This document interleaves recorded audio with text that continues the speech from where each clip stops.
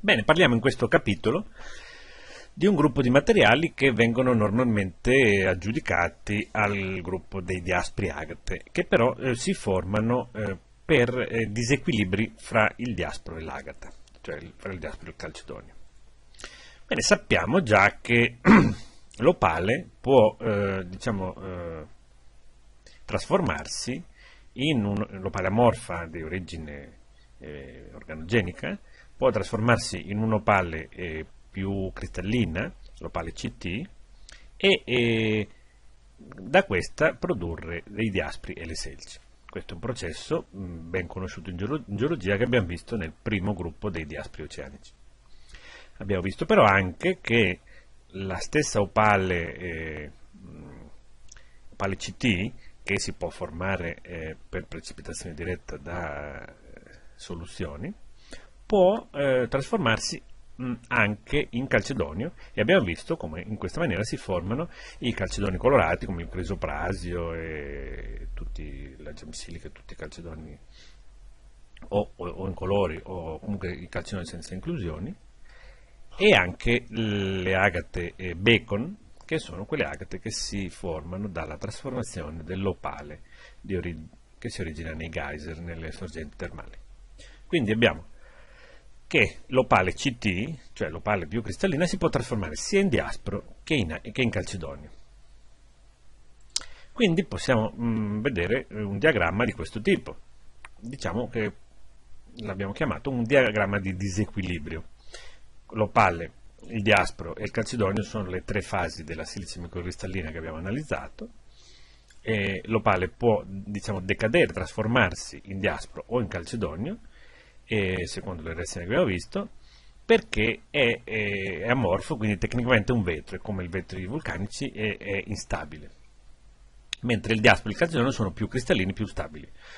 L'opale è molto facile che in natura si rompa, si disidrati, si trasformi in qualcos'altro eh, o entri in soluzione ne, ne, nelle acque correnti e, e, oppure venga trasformato in calcedonio diaspro. Cosa succede in questa zona del triangolo? Cioè, è possibile che ci siano delle, dei passaggi fra calcedonio e diaspro? Beh, abbiamo già visto che eh, nel caso dei diaspri brecciati mh, mm, esiste in qualche maniera un, eh, un fenomeno per cui il diasporo, mano a mano che eh, si frattura, si, si aprono delle, delle, vene e vengono riempite da calcedonio. Quindi un, un, blocco che originariamente era costituito da diaspro puro viene mano a mano trasformato in un, in un oggetto costituito da calcedonio con dei frammenti di diaspro eh, in sospeso. Ecco, questo è diciamo, un, un esempio di disequilibrio. Però abbiamo visto anche che eh, Diaspro e Agata, nel, nei, nelle, nei Diaspri Agate, nel, quel gruppo che abbiamo chiamato Diaspri Agata per, di precipitazione chimica diretta, sono due materiali molto vicini e possono in, alcuni casi coesistere. Quindi la differenza chimica praticamente non esiste, la differenza eh, del, della forma cristallina, cioè della struttura cristallina, è abbastanza poca per cui ci può essere passaggio da una a quell'altra. Andiamo a vedere dove possiamo avere dei, dei, degli esempi in cui ci siano disequilibri e quindi passaggio da diaspro a calcedonio diretto. Ecco, un materiale dove si possono mm, vedere chiaramente questi fenomeni è il polkadot. Polkadot è un materiale dell'Oregon, mm, dot eh, è il nome dato perché è caratterizzato da questi, queste sferette marroni, e però vi, viene chiamato agata, anche se mh, in genere è opaca e ha comunque eh, delle, delle, strutture da ferro ossidato, le strutture come da, eh, da diaspro paesaggio. Quindi l'aspetto è quello di un diaspro, però ha delle zone trasparenti che gli danno il nome di agata. Questi dots li abbiamo già visti e sono dei, de, delle strutture che si formano tipicamente negli, negli opali non sono una struttura eh, molto comune nei, nel calcedonio, sono una struttura più da opale e comunque sono delle, diciamo, degli, degli, aggregati di ferro ossidato. Anche eh, queste strutture paesaggio sono delle strutture che si formano sui bordi dei blocchi, però in questo caso stiamo parlando di blocchi di diaspora. Quindi i dot e, e questi, queste strutture paesaggio si formano in ambienti diversi. Ecco, questo campione di Polkadot eh, mostra chiaramente ancora la, stru- la struttura del diaspro chimico primario, cioè questa laminazione eh, così con la concavità verso il basso dovuta a perdita di liquidi è una laminazione che abbiamo visto che è tipica, tipica dei diaspri eh, di, per precipitazione chimica diretta. La struttura del, della foto anteriore, queste qui sono più eh, tipiche di diaspri eh, del tipo eh, stratiforme che si originano sui banchi di tuffi vulcanici. Quindi eh, il, il, il, il, diasporo originario eh, probabilmente era, è possibile che fosse di due tipi diversi, però questa zona del giacimento ha subito delle trasformazioni, sia i diaspori di un tipo che quelli, che quelli di un altro, delle trasformazioni per cui ehm, da strutture di diasporo primarie si passa ad avere delle zone di calcedonio eh, più o meno trasparente con questi dot all'interno. Quindi è possibile che ci siano mh, due diversi tipi di diaspori nello stesso giacimento, però i fenomeni secondari che hanno trasformato il diasporo e, hanno creato queste porzioni di calcedonio sono comuni a entrambi. Quindi intanto abbiamo capito che eh, questo in origine era un diasporo e il calcedonio viene dopo. Ecco, se guardiamo alcuni campioni, vediamo che ci sono delle zone di dissoluzione, addirittura in alcune ricristallizza il quarzo, quindi c'è stata sicuramente una dissoluzione, o perlomeno parziale, di questo diaspro, che ha, diciamo, rammollato il diaspro che poi in certe zone è stato drenato. Questo rammollamento, questo mm, eh, trasformazione di diaspro in un qualcosa di più, liquido, più, più colloide, ehm, visto, si, si, può capire anche dal fatto che i DOT, che probabilmente erano più resistenti perché vediamo che non sono stati disciolti, venivano, eh, in questo caso sono stati eh, accumulati sul, alla base di questa zona di dissoluzione. Quindi cosa succede? Mm, c'è un fenomeno che rammolla il diaspro, mm, che può eventualmente anche portarlo via. E in più mm, questi dot, che sono la prima parte che si indurisce da questo colloide, eh, possono, eh, se, c'è una, una, diluizione sufficiente per cui questo colloide viene portato via, questi dot possono subire fenomeni gravitativi e andare sul fondo. In questo strano eh, campione, vediamo che c'è stato uno, un rammollimento di questo diaspro e non si capisce esattamente, però sembra che si siano formati dei dot in questa zona che poi in qualche maniera sono stati spinti fuori e hanno fatto questa specie di microeruzione. E quali che siano le, le che sia l'interpretazione di questo campione è chiaro che c'è stato un momento in cui questo diasporo era più, più, più tenero, più, più liquido, era non, non, proprio liquido, ma era una soluzione densa, in cui venivano dei fenomeni all'interno. Si, si formavano questi, questi, dot, questi puntini, vediamo questi sono dei dot di un opale di Querétaro, che sono uguali a questi dot del, del Polkadot, e vediamo che i puntini sono in genere immersi in un calcedonio trasparente, quindi il diaspro si, si è eh, diciamo, sciolto, si sono formati dots in un materiale che probabilmente era simile all'opale, questo opale CT, e poi si è rindurito tutto, però in, in, certe zone si è rindurito come calcedonio, abbastanza limpido. In altre zone la diluizione è stata troppo, troppo importante, a un certo punto si è stata la dissoluzione e si sono create queste cavità. Quindi possiamo ricostruire la storia di questo polkadot, di questo materiale, in, in questa maniera il diasporo primario originale può essere sia chimico che vulcanico stratiforme a seconda di questi due campioni. Non conosco personalmente il deposito, quindi non posso dire, però diciamo che ho visto campioni con strutture di entrambi i tipi. questo diaspro si dissolve, si trasforma in una soluzione colloidale densa, quindi non liquida, però eh, abbastanza plastica in modo da eh, permettere dei fenomeni all'interno. In all'interno infatti si formano questi dot. Una ulteriore diluizione provoca la formazione di, questa, di queste cavità, cioè eh, porta via delle porzioni di colloide e, e, e provoca la, la, il movimento dei dots. Quindi c'è stata una, una, seconda fase di diluzione ulteriore. A un certo punto cristallizza il calcedonio e il, il diaspro si risolidifica. Quindi passiamo da diaspro a calcedonio passando per un, per un materiale intermedio colloidale e, e, le tracce di questo fenomeno sono lasciate da questi campioni che mi danno sia i dot che questi, eh, queste cavità. Il risultato è un materiale che ha sia caratteristiche da diaspro sia caratteristiche da calcedonio.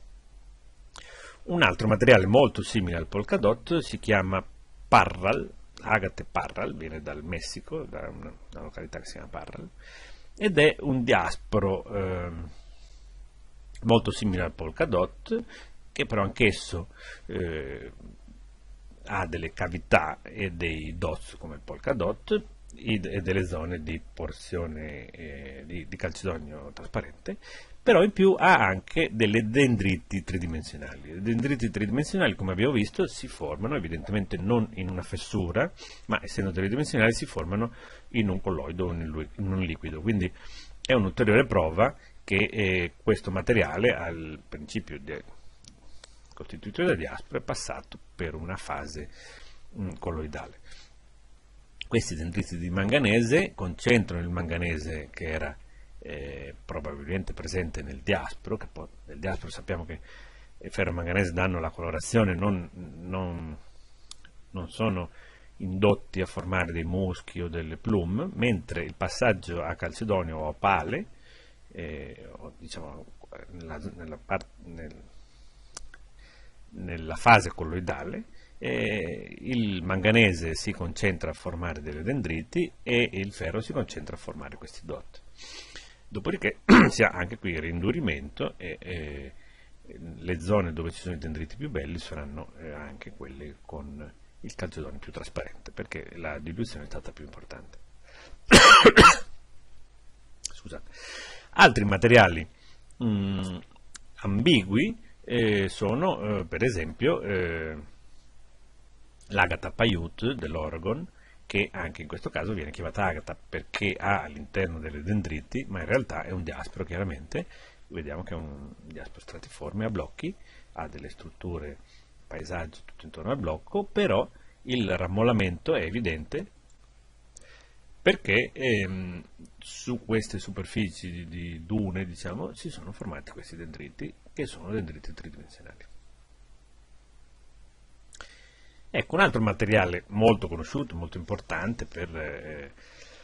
la produzione di oggettistica eh, è il, il diasproceano, uno dei più bei diaspri che siano mai stati scoperti negli ultimi anni in Madagascar. Il diasproceano abbiamo visto che si forma per trasformazione di un'ossidiana e ancora eh, vediamo evidenze delle linee di flusso della, della lava e, e su cui si, si, sovrimpone queste strutture sferolitiche che sono il risultato della devitrificazione del, del vetro vulcanico. Quindi questa è l'origine di cui ne abbiamo parlato a lungo nel capitolo dei diaspri reolitici. Però queste sferuliti mh, nel, nel diasproceano rispetto ai diaspri reolitici sono più eh, bandate per questo i diaspri di questo tipo vengono chiamati eh, diaspri orbicolari. Queste sferulite hanno tutto l'aspetto di agate, mh, mm, con le bande molto simili alle agate bandate, però invece di crescere dai bordi della cavità verso l'interno, crescono da un punto verso l'esterno. Quindi la banda più antica è quella all'interno e banda, l'ultima banda è quella diciamo fuori. In certe zone queste sferuliti bandate sono immerse in un calcedonio trasparente. E quindi anche qui abbiamo un materiale ambiguo, chiaramente è un diaspro, eh, chiaramente l'origine è da devetrificazione, e sappiamo che la devetrificazione eh, nella maggior parte dei casi mh, mm, trasforma il materiale in eh, diaspro, passaggi intermedi, c'è la cristobalite eccetera, però alla fine quasi tutte le ossidiane eh, alla fine della sua storia vengono trasformate in diaspri, mentre eh, in calcedonio no. Però alcune zone del diasporoceano sono eh, traslucide e sono costituite da calcedonio. Ecco, vediamo in questo campione dove chiaramente eh, c'è una porzione di diaspro, dove si vedono le sferuliti originali immerse nel diaspro, e queste sferuliti, anche se in realtà anche qui ci sono più generazioni di sferuliti, però diciamo che le sferuliti originarie, che probabilmente sono queste rosa, sono non bandate eh, o pochissimo strutturate. Ecco, eh, nella zona che ha subito la ricristallizzazione in calcedonio, invece le sferuliti sono bandate e sono appunto immerse nel calcedonio. In queste zone addirittura in certi casi può cristallizzare il quarzo.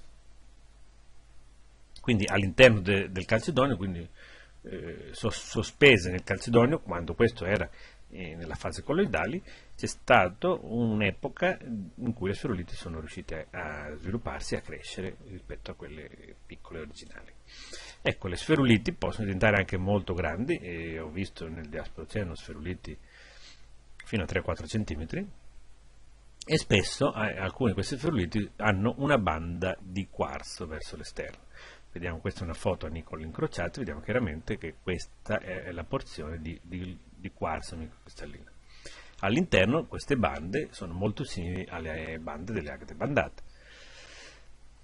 e, e, sono in realtà identiche alle concrezioni di calcedonio che abbiamo visto, con crescita delle bande dal centro verso l'esterno e il quarzo che nella maggior parte dei casi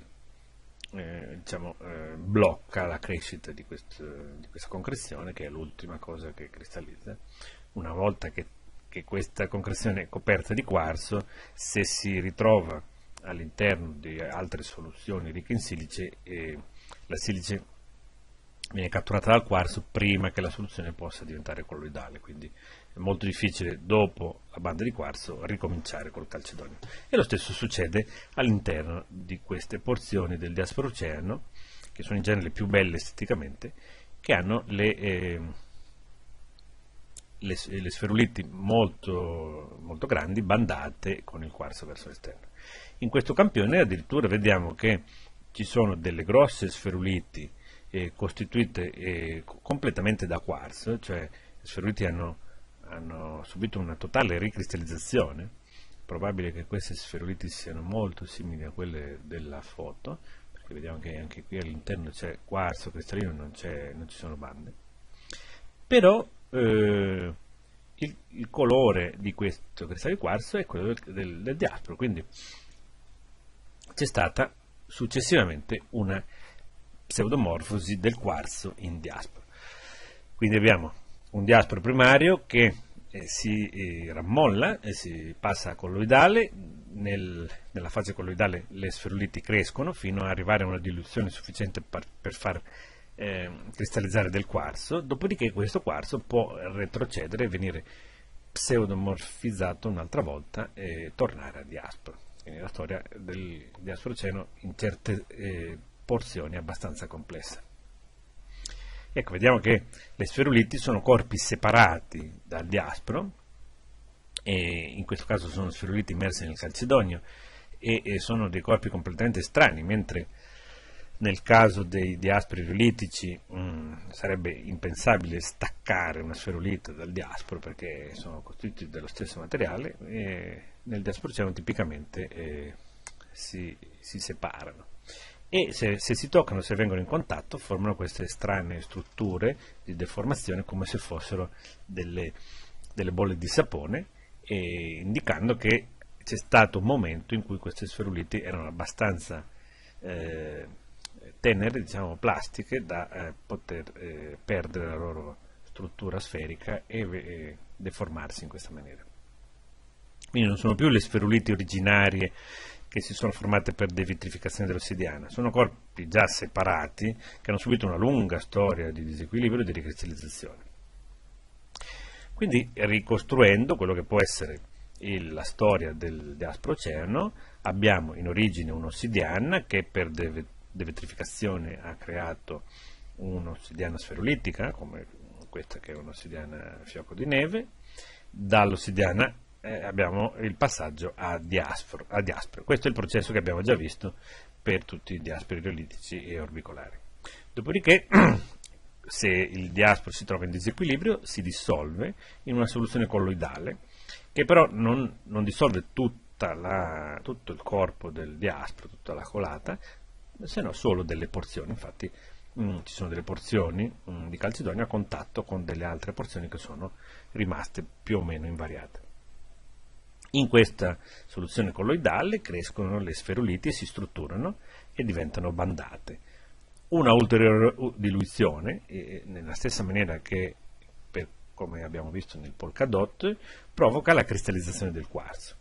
Però poi mh, mm, parte del quarzo viene nuovamente trasformato in diaspro, quindi eh, dopo l'indurimento abbiamo dopo l'indurimento del quarzo, perché il quarzo cristallizza, abbiamo un'altra volta che le condizioni eh, chimiche eh, retrocedono a quelle originarie. Quindi vediamo che eh, come il polkadot anche il diasproceano è un processo multifase.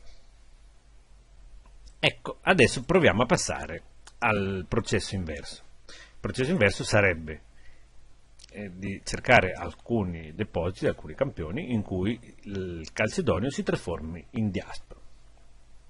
Abbiamo trovato un materiale molto bello che è il, la, l'agata del Canadian River nel nord del Texas, che è un'agata plum, eh, con plum di grandi dimensioni, molto strutturate, spesso eh, strutturate in strati, questo blocco misura più di 50 cm, quindi vediamo che ci sono perlomeno tre strati di plum molto belle, però queste plum sono immerse nel diaspro. Allora, noi abbiamo visto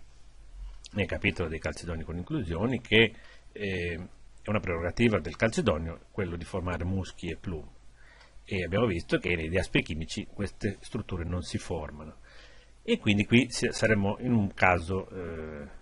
un caso che fa l'eccezione. In realtà non c'è nessuna eccezione, queste, queste plum si sono formate nel calcedonio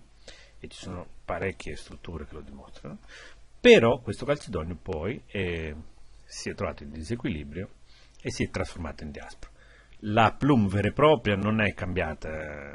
più di tanto, però il calcedonio eh, si è trasformato completamente. E vediamo che in alcune zone, qui per esempio c'è una zona curiosa dove si sono formate addirittura delle strutture urbate. Qui eh, c'è diaspro, qui c'è diaspro, e tutti gli interstizi fra le plum c'è diaspro, qui c'è diaspro.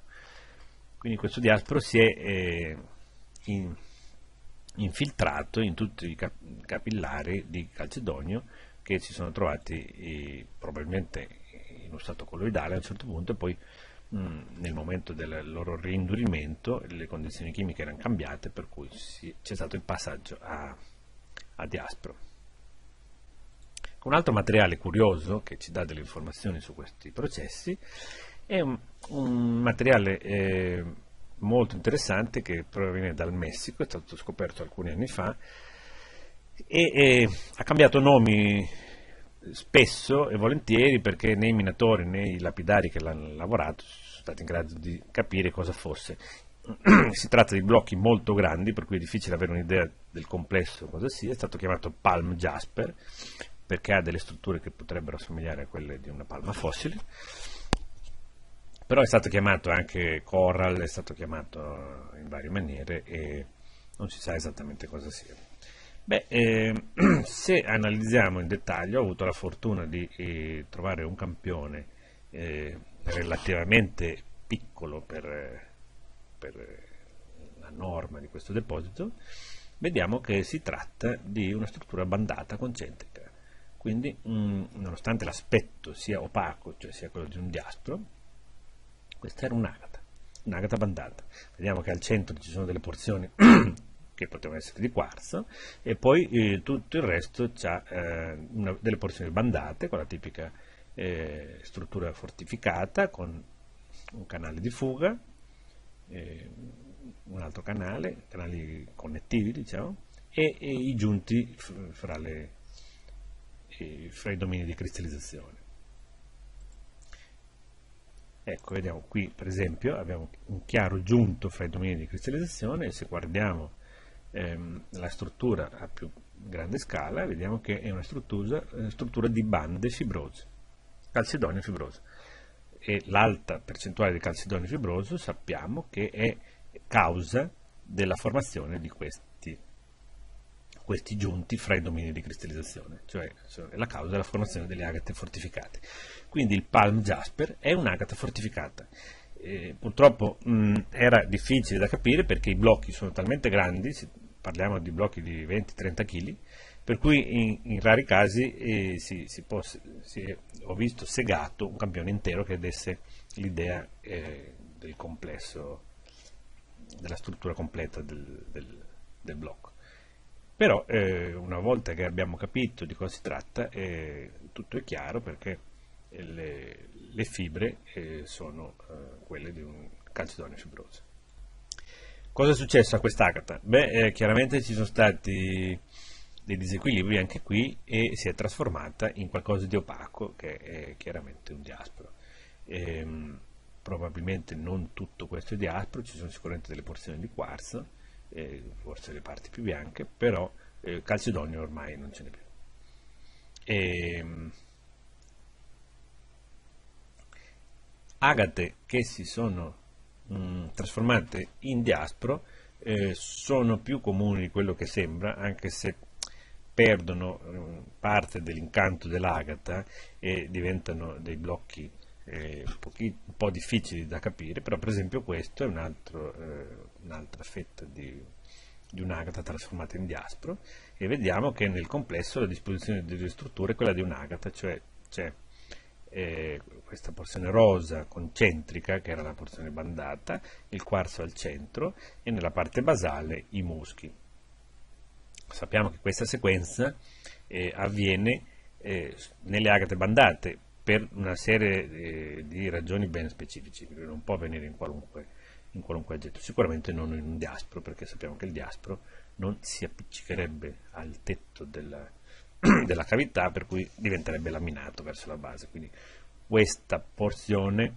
eh, mi, mi, dice chiaramente che, siamo, eh, che questo blocco si è formato come un'agata. Dopodiché c'è stato disequilibrio, la, l'agata bandata, cioè il calcedonio bandato si è trasformato in diaspro, cioè questa parte rosa, i muschi sono rimasti dove sono e, e addirittura c'è stata una brecciazione in questa zona secondaria per cui c'è dei frammenti che si sono mossi hanno formato una brecciazione, qui si è riformato il calcedonio di nuova generazione, queste, queste zone bianche, perché come sappiamo il, il diaspro è soggetto a questo fenomeno di brecciazione e di infiltrazione di calcedonio nelle fratture. Quindi anche in questo caso abbiamo un'agata che si trasforma in diaspro e poi certe zone di questo diaspro vengono di nuovo riassorbite e, e, e danno luogo a delle formazioni secondarie di calcedonio un'altra volta. Quindi vediamo anche questo multifase. Ecco, in realtà ehm, delle agate che si sono trasformate in diaspro sono abbastanza comuni. Eh, per esempio quelle di Waldenbach in Germania sono una delle agate più famose, della, credo, credo, che sia nella zona di da Roberstein, comunque è un deposito molto famoso in, in Germania e, e, la struttura bandata e concentrica è inequivoca per cui queste sono sempre state chiamate agate senza nessun dubbio, però evidentemente rispetto alle agate costituite da calcedonio trasparente hanno qualcosa di anomalo, sono totalmente opache. Alcune, alcuni altri depositi diventano completamente bianchi, altri invece diventano eh, di diaspro rosso. E anche in questo caso, queste sono dell'Ungheria, vediamo che i muschi sui bordi sono un chiaro indizio di formazione dentro il calcedonio, però poi all'interno abbiamo tutta eh, la parte che doveva essere calcedonio sostituita da diaspro opaco. E cosa gli succede all'agata bandata eh, nel momento che diventa diaspro? Beh, i processi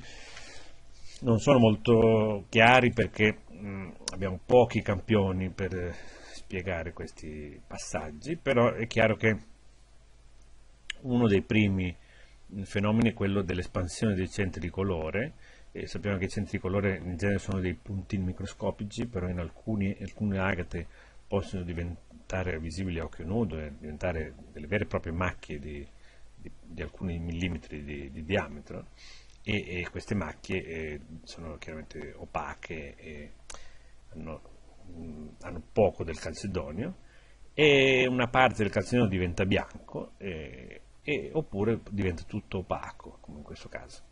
Mm, com, quali siano esattamente le fasi di passaggio non, non, non, è chiarissimo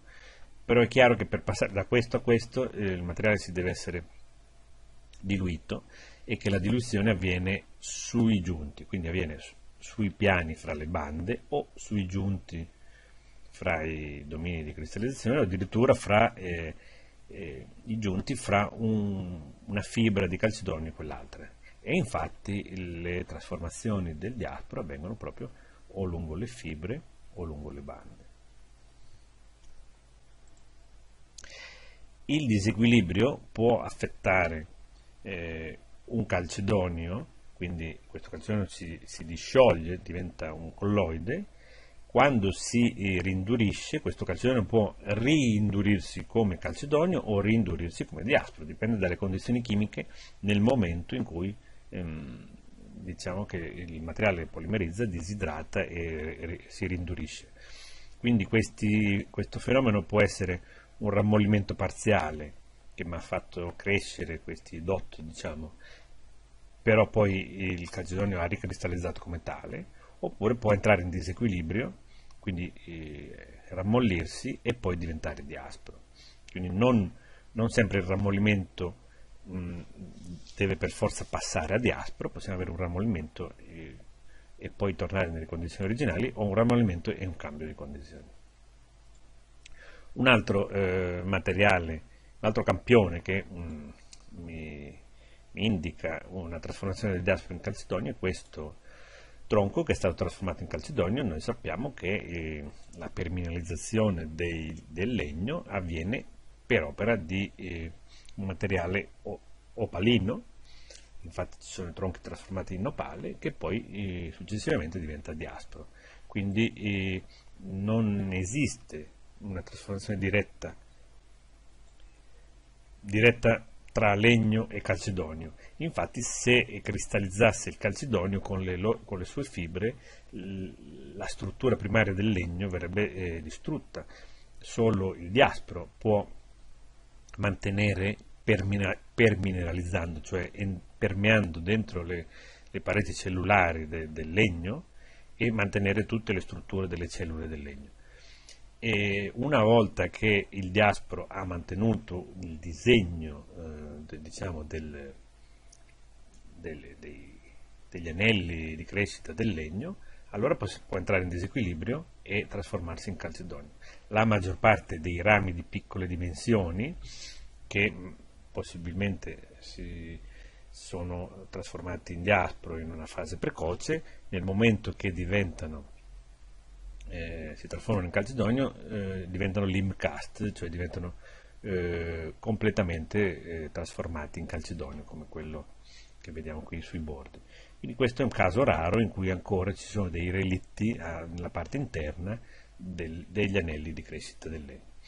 Se il processo andasse avanti questo sarebbe destinato a diventare tutto calcedonio. Ecco, eh, un un'altra pseudomorfosi che mi dimostra i disequilibri che possono avvenire all'interno di, di un nodulo d'agata eh, è quello delle, delle, sageniti. Abbiamo visto che le sageniti eh, sono dei cristalli di altri minerali che vengono inglobati dal, dall'agata bandata e, e, nella maggior parte dei casi sono zeoliti o aragoniti o calciti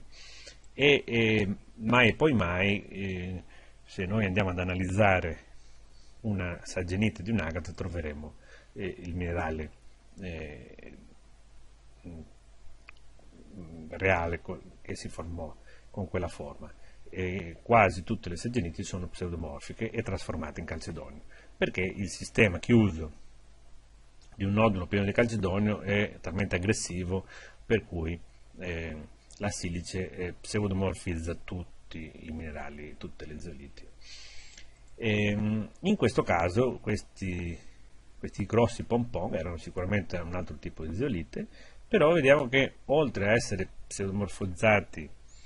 eh, come eh, calcedonio hanno subito una trasformazione anche nella struttura, vediamo che si sono trasformati praticamente in muschi. E, e vediamo che il calcedonio è entrato dentro a queste, queste emisfere, eh, si è infiltrato e, e, quelli che erano eh, gli aghetti della zeolite sono stati eh, trasformati, hanno assorbito probabilmente acqua, sono stati trasformati e sono diventati muschi. E, ehm, è probabile che gli elementi metallici dello zeoliti, che sono eh, anomali nella composizione del calcedonio, non, non, riescono a entrare in soluzione del calcedonio, quindi sono ugualmente eh, responsabili dei muschi, eh, cioè sono quelli che hanno portato alla, alla formazione di questi muschi. Eh, nella stessa maniera in cui eh, gli elementi metallici che stanno sui bordi della cavità, nella roccia, nel basalto, nell'andesite, nella roccia madre, eh, a contatto col, con la silice del calcedonio creano i muschi e le plume. Cioè, nella stessa maniera queste zeoliti hanno eh, diciamo, eh, eh, pro, eh, fornito i, gli elementi metallici per trasformare il calcedonio in muschi. Quindi abbiamo, ehm, abbiamo, visto che esiste un fenomeno che è il rammollimento secondario del diaspro e il, diciamo, gli elementi che mi che mi dicono che c'è stato questo rammollimento sono la crescita e il movimento dei dots, che non sono una struttura tipica del diaspro, la, la strutturazione delle sferuliti, la crescita delle sferuliti bandate, eh, che eh, si formano all'interno del calcedonio, perché le bande sono appunto di calcedonio, e la crescita delle dendrite tridimensionali che eh, eh possono diventare crescere in maniera tridimensionale solo se il materiale è, è allo stato plastico. Quindi questi tre fenomeni sono eh, eh, indicativi di un rammollimento, però in tutti i casi può seguire un cambio della chimica eh, del, del, dell'ecosistema, per cui mh, il, il, il diaspro può passare a calcedonio oppure no quindi non è detto che il ramollimento sia poi seguito a un disequilibrio. Quindi il diagramma triangolare iniziale lo possiamo completare e da adesso sappiamo che eh, fra diaspro e calcedonio ci sono numerosi mh, passaggi eh, in cui eh, vediamo il cane di arrivere, il pangiasperi, le agate opache sono calcedoni che diventano diaspri, i diaspri briciati, poi cadotti il diasproceano sono invece i diaspri che diventano calcedoni. Quindi in questa maniera si chiude il triangolo. L'opale sta al vertice perché eh, diciamo, da qui discendono sia il diasporo che il calcedonio, i cammini inversi sono impossibili perché il calcedonio e il diasporo sono materiali molto stabili, perché sono in parte cristallini, mentre l'opale è molto instabile, quindi eh, sempre sarà l'opale a tendere verso il diasporo e verso il calcedonio. E in un grafico costruito in una maniera diversa abbiamo i materiali instabili in questa zona in alto, in cui abbiamo il vetro vulcanico, l'opale organogenica e l'opale CT, eh, di origine eh, per precipitazione diretta. Questi tre materiali sono instabili in natura, tendono a, a, a entrare nel campo di stabilità o del diaspro o del calcedonio. Tuttavia, mh, mm, il campo di stabilità de, del diaspro e del calcedonio sono diciamo, comunicanti e posso, si può avere passaggio da un campo a quell'altro. Il passaggio da un campo a quell'altro avviene sempre per rammollimento, c'è una reazione per cui un materiale duro come il vetro vulcanico o l'opale si rammolla e, e da molle può ricristallizzare come diaspro o come calcedonio, allo stesso modo che eh, il calcedonio può rammollare e ricristallizzare come diaspro e viceversa quando si hanno i passaggi di disequilibrio fra diaspora e calcedonio possiamo avere dei termini intermedi che sono molto simili all'opale, però siamo sempre nel campo di un colloide. E, per esempio, eh, se noi usiamo questo diagramma per definire il, il percorso, la storia del diasprocerno, questa, questa questa linea tratteggiata gialla mi indica che il diasprocerno inizia come vetro vulcanico, entra in disequilibrio e, e si trasforma in diaspro. A questo punto il diaspro eh, rientra in disequilibrio e, e, si mette nel campo del di stabilità del calcedonio dove si formano eh, le sferuliti bandate, eccetera. Addirittura arriviamo nel campo di stabilità del quarzo, che qui l'ho, l'ho messo fuori dal diagramma, e poi e però anche questo quarzo può rientrare nelle condizioni addirittura di stabilità del diasporo. Quindi diciamo, questo è un po' eh, il diagramma che mi indica la, la storia evolutiva del diasporo cervo.